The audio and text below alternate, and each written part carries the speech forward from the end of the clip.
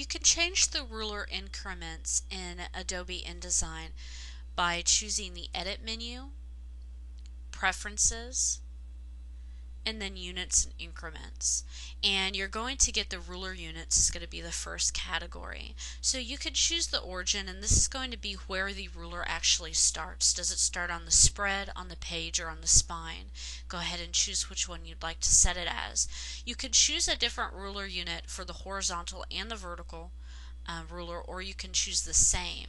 So you have a big selection here of what you can choose. Inches is the default, so if you'd like to choose it, go ahead and choose a different one for the horizontal and the vertical ruler. Then go ahead and click the OK button, and the changes will be displayed on the ruler.